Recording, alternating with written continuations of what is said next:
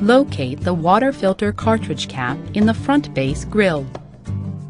Remove the filter by rotating the cap counterclockwise so the handle is in a vertical position.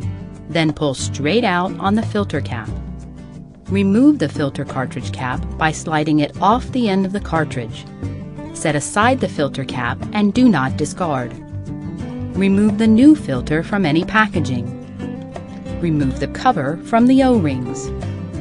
Place the filter cartridge cap that was set aside earlier on the new filter by sliding the cap onto the end. Align the ridge on the filter with the ridge on the cap to make certain it is centered. Hold the assembled cap and filter unit with the handle in the vertical position and push the new filter cartridge into the opening of the base grill until it stops. Rotate the cartridge cap clockwise to a horizontal position.